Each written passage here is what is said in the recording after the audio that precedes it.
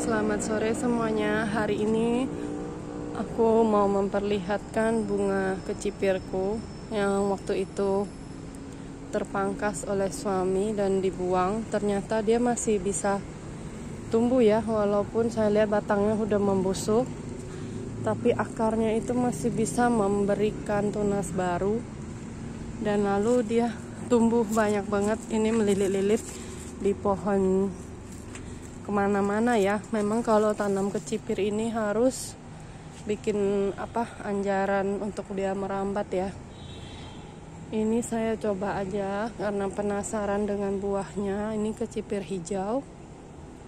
Merambat dia ke mana-mana beneran. Ini ya nggak rapi banget mesti dikasih anjaran. Nah mirip kan dengan bunga telang? Ini kan bunga telang yang tadi bunga kecipir sama suamiku dikira bunga telang jadi dibuangnya. Kemarin itu ya untung tumbuh lagi. Tapi kemarin itu sudah berbunga banyak sekali. Nah ini kecipir pun eh kecipir apa bunga telang pun mudah tumbuh nih. Ini nggak tahu terbang mungkin bijinya tumbuh di sini tuh. Udah berbunga juga.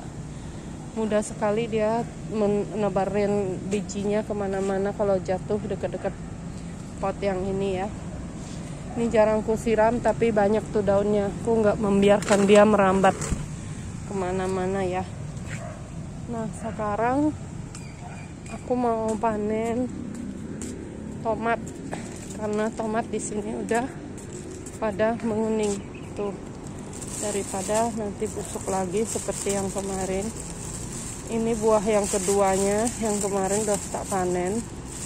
Ini ini buahnya nggak begitu besar ya ini saya bungkus biar bebas dari lalat buah karena tomat juga sangat disukai oleh lalat buah. Nggak melon aja belum buah-buah lain juga sangat disukai oleh lalat buah. Nah ini kalau nggak dibungkus kalau sudah pecah kayak gini masukkan air dia bisa busuk. Jadi ini mau kita petik aja tomatnya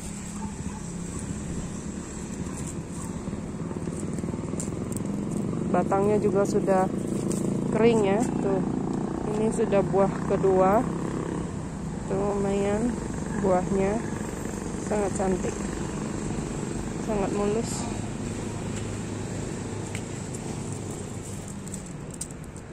Ini langsung kita patahin aja. Karena pohonnya juga sudah mati.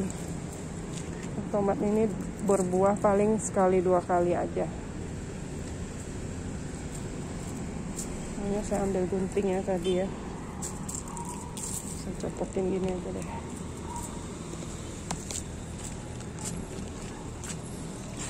Nah di sini juga ada jambu air. Saya mau panen juga.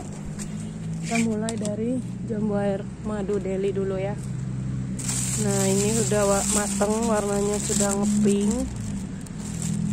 kita mau petik dia masih bagus ini pasti manis nih udah tua. Dan ada satu lagi saya lihat di sini udah lumayan besar juga. Jambu air juga mesti dibungkus ya. Oh ya kemarin jambu-jambu airku yang merah itu ku kasih jaring. Ternyata nggak efektif banget.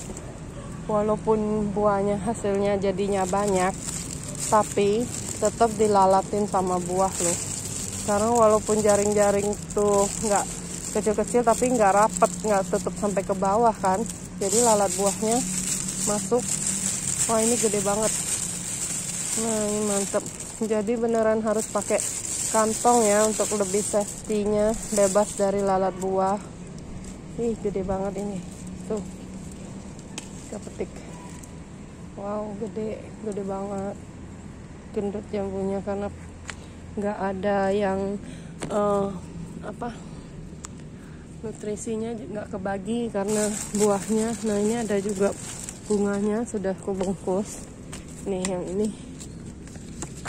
Tuh. Sini masih terus berbunga dia ya. Kukira udah stop nanti kalau mau berbunga lagi mungkin ku akan ku pangkas lagi dan ku beri pupuk lagi ya nih pupuknya dari sisa-sisa ampas kulit. Ini kan ada kulit manggis kulit pisang uh, kulitnya mangga. Jadi buah-buahan yang aku makan kulitnya aku buang-buang lagi ke pot. Nah sekarang aku mau panen yang ini nih jambu air yang merah. Nah ini nggak kebungkus. Nggak tahu nih ada lalat buahnya atau enggak ada lagi sisa sedikit sih. Ada juga yang kubungkus nih di sini nih. Gerombolan nih. Cantik banget. Kalau dibungkus dengan plastik itu lebih aman ternyata ya daripada jaring. Nah ini. Kita petik satu tangkai. Nah ini cantik banget. Lepas ada yang lepas nah, ini bersih kan? Bersih banget cantik banget bebas dari lalat buah. Tuh cantik banget ya. Nih jambu air ada lagi. Kita cari lagi. Di kantongnya kita pakai lagi. Nah ini. Ini malah nggak ketutup banget. Ada lagi di sebelah sini nih. Ini di bungkusan yang ini belum buka. Sampai ada yang jatuh tuh.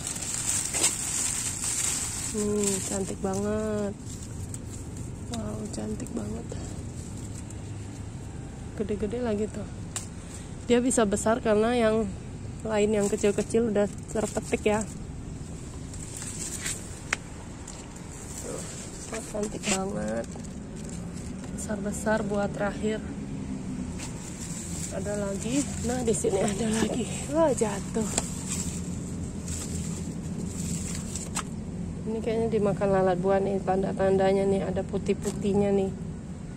Tuh ini kalau dua hari nanti bonyok nih. Buang aja. Kita lihat lagi. Ini pendek aja ya. Tuh nggak nggak nggak nggak rimbun nggak tinggi. Ini nanti mau aku rapiin lagi aku pangkasin lagi supaya dia berbuah lagi lalu diberi pupuk. Nah itu jambu-jambunya yang dilalar buahin ku masukin lagi ke situ biar dia jadi pupuk lagi itu batangnya itu. Nah ini cantik-cantik bagus-bagus semuanya hasilnya. Nah untuk yang kemarin apa jaringnya ini aku buat bungkusin buah kelengkeng supaya nggak dimakan sama burung ataupun tupai ataupun apalah ya yang bisa memakanin buahnya. Di sini ada buahnya. Ini masih ada bunga melon cantik banget bunganya. Tuh bunga melon belum mati nih pohonnya. Menjalar ke atas tapi belum kelihatan buahnya. Pohonnya menjalar ke atas pohon lengkeng. Yang belimbing yang sepet nih lihat buahnya. Berjatuhan di pot karena nggak aku bungkus sepet karena itu nggak begitu manis ya. Ini jeruk nipisku nih mantep banget aku mau petik satu untuk buat makan mie. Nih ini tuh ada bunganya lagi nih di sini. Ya kalau dia kalau di bekas pangkasan tuh ada di situ sebelah ujung sana ada buahnya lagi. Aku mau ambil satu yang di mana ya? Yang ini aja nih kayaknya udah agak membesar. Ih banyak durinya loh hati-hati. Mana tadi jatuh? Oh masih nyangkut di pohon berduri banyak durinya. Nah ini jeruk nipis kepake banget tiap hari. Uh, kadang kalau mau masak mie atau atau beli mie ayam atau uh, makan dengan bakso juga enak atau untuk makanan lainnya itu segar nah jeruk nagami juga banyak ya tapi belum aku ambilin biasa kalau super banyak baru aku bikin manisan. Ini lagi males ya kadang sampai berjatuhan. Untuk cabai udah aku petikin lihat kering batangnya belum berbunga lagi. Ini juga jeruknya sudah aku petik kemarin. Aku mau lihat di sini ada belimbing jatuh nih. Tapi ini belimbingnya biasanya busuk tuh kalau jatuh dimakan lalat buah tuh. Ini yang nggak kebungkus. Masih cantik nih. Cuman pasti ada kemakan lalat buah ini. Ini agak manis belimbingnya ya. Sayang sih. Kita buat pupuk aja deh. Aku mau lihatin. Ini buah tinku kenapa lambat besarnya ya? Kan segitu-segitu aja. Tiga biji nih apa mesti digemurin tanahnya apa gimana? Ini benar-benar dasar kecipirnya menjalar sampai keluar pagar tuh. Tuh kayaknya percobaan aja deh. Nanti kalau udah ini ditebas lagi. Karena dia kalau tanaman sayur yang menjalar-jalar itu repot banget ya. Jalarannya itu nggak ke kontrol ya. Ini lihat bunga labu ini labu yang biasa itu. Di sebelah sini juga ada nih. Labu.